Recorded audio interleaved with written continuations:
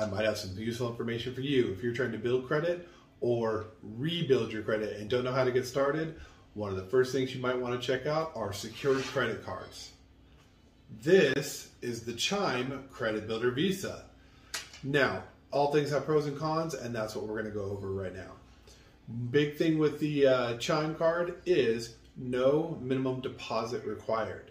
This card works more like a debit card that earns you credit, which means you don't have to have $200 to then get a $200 credit line.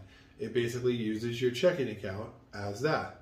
There's no annual fees, there's no interest rates, there's no credit check, and there's potential cardholder bonus, which I'm not going to get into right now. But the most important thing though, it does build credit. Now, with all that being said, there's always going to be cons.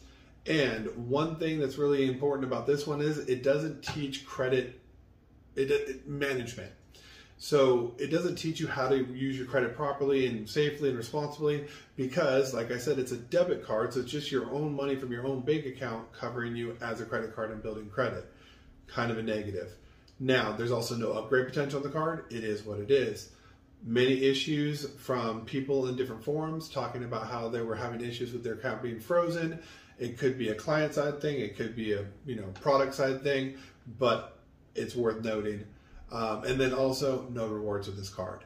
However, it'll get you started. It'll help build credit. There's really no upfront cost. So I think it's definitely worth taking a look at. And if you are trying to build your credit or rebuild your credit, take a look, do your research, find out what works well for you.